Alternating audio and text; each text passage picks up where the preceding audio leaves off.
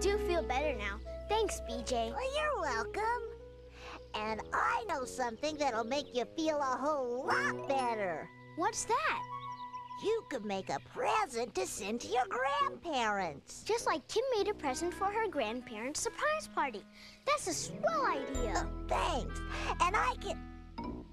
Did you say surprise party? Oh, yeah, I forgot to tell you. Oh, cool. Surprise parties are really fun. Now, what should I make? I don't know what kind of stuff to I love you, Mima and Pop Pop. you all did a great job decorating. Thanks, Barney.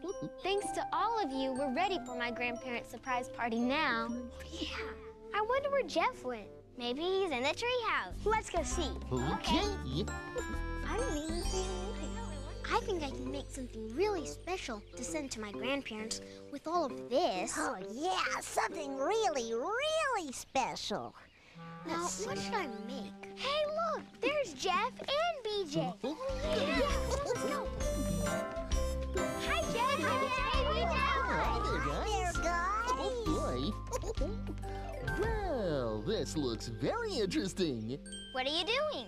We're going to make presents to send to my grandparents. Oh, that sounds like a nice idea, Jeff.